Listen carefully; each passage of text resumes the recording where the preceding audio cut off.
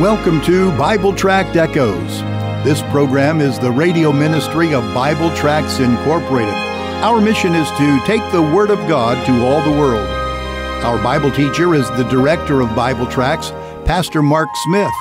Since 1938, Bible Tracts Incorporated has been publishing clear gospel tracts and supplying them to churches, missionaries, and individuals all over the world, and all at no charge.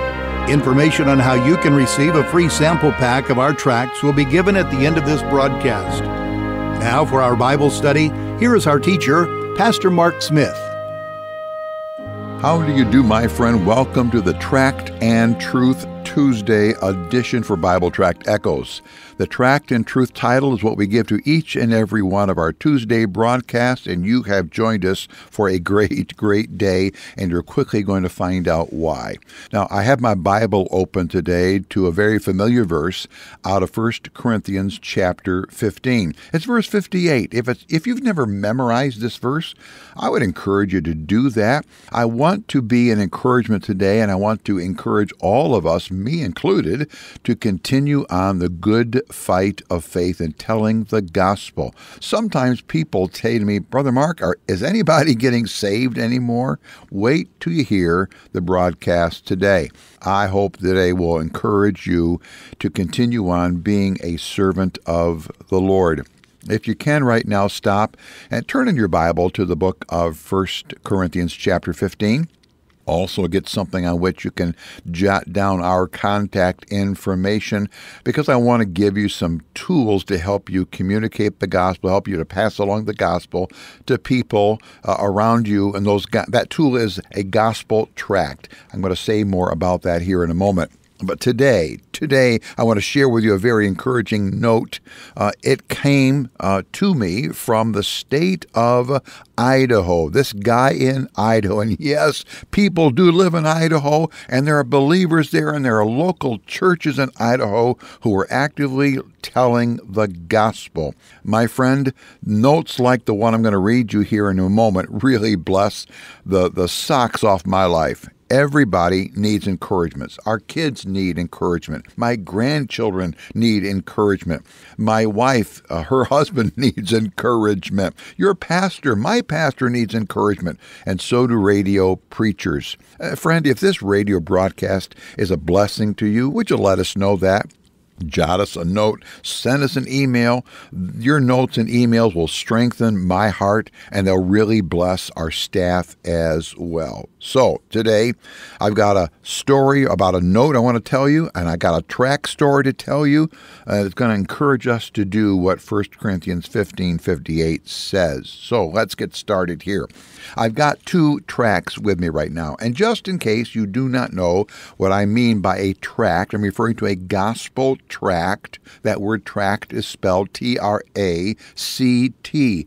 It's a short written presentation of God's plan of how a sinner can be saved from their sin, from the condemnation of their sin, from their destiny in hell, and be given the gift of forgiveness, be given the gift of the Son of God who gives them everlasting life. Gospel tracts help us tell the gospel. I've got two here in my hand. One of them is designed pointedly to help you tell the gospel. It's entitled It's Free. It is free. On the front cover, there's a wallet with some credit cards coming out of it, uh, just simply as a design to help us find out and communicate the idea that the gospel we have to offer people is a gift. When you open this tract up, all there is here on the left hand side are verses that say that salvation is free. Verses like John 10 28. Jesus said, I give unto them eternal life. Revelation 22 17. Whosoever will let him take the water of life freely. And there's others here. On the right hand side of the tract, uh, you're going to find verses here that uh, this life, this salvation gift is found in God's risen Son. Romans 3, uh, Romans 6:23 is there. The wages of sin is death, but the gift of God is eternal life through Jesus Christ our Lord. If you're looking for a tool to have handy to help you tell the gospel, here it is. It's free. The other tract in my hand here is entitled riding the religious merry-go-round. Riding the religious merry-go-round. Let me read you how the tract begins. It says, Merry-go-rounds are fun to ride, but they don't take you anywhere. Many people are attempting to reach heaven by merry-go-rounds. That word merry-go-rounds is in quotes, but it's futile. Read on to discover. And he talks about how that good works cannot save, but they make you feel good. Religion can't save, but it makes you feel good. Being sincere about your spirituality can't save you, but it makes you feel good. Then it asks this question If you would die today, would you go to heaven? Or are you depending on a quote unquote merry-go-round to get you there? You can't ride the quote unquote merry-go-round of good works, religion, or sincerity, but they'll never transport you to heaven. And then we have the verse here, Ephesians 2 8 9, for by grace are you saved through faith. It's a great, great gospel tool, beautifully laid out here, riding the religious merry-go-round listen, my friend, at the end of this broadcast, my announcer is going to come back on. He's going to give you three ways by which you can contact us. Do that. Give us your name. Give us your mailing address. We will send you free, free, free of charge a sample packet containing one each of all of our English gospel tracts. These two are in there along with 39 others. Get them from us and let's become partners together in the gospel. You know the verse out of uh, 1 Corinthians 15 58. I hope that you do. The verse tells us to be always abounding in the work of the Lord. For you know that your labor is never in vain in the Lord. And that's what I want to encourage you with here today. In a moment, I'm going to read some other verses that encourage us to stay at what we're doing. Well, as I said, this week in the mail, I got this note from a supporter in Idaho, and evidently his local church is actively looking for ways to touch their community with the gospel. Here's what the note says, and I'm quoting now We just had our barbecue at our town's event center. The gospel was presented after the meal and after a presentation by a hunter and an elk caller. No, let me stop here. I didn't know there was such a thing as an elk caller, but evidently there is. I'm continuing on with the note now. Quote 46 people responded by checking the box on their card that read, I received Jesus Christ as my Savior today. God is at work here! Exclamation point, he said. End quote. That was his note. Glory to God. The town there that he lives in, in Idaho, uh, where all this took place, has only a population of 1,100 people.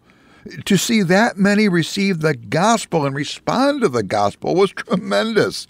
This church, who put on the dinner for hunters, is having a tremendous impact on their town.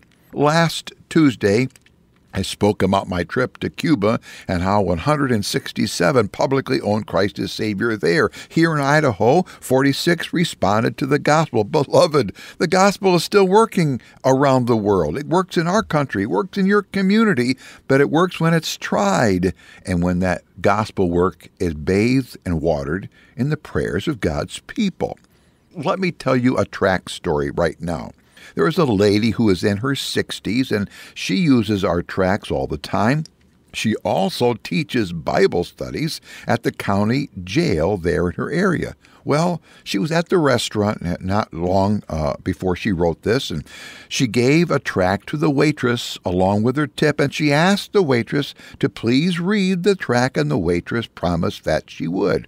Well, two weeks later, this lady is at the jail teaching her Bible lesson all of a sudden the waitress comes in waving this tract, and the waitress said this, and I quote, a lady gave me this tract and asked me to read it. I did, and I prayed the prayer at the end. But that night I got in with some wrong friends, and well, here I am. End quote. Now the waitress, the waitress didn't even recognize that it was the Bible teacher who was the one that gave her the tract.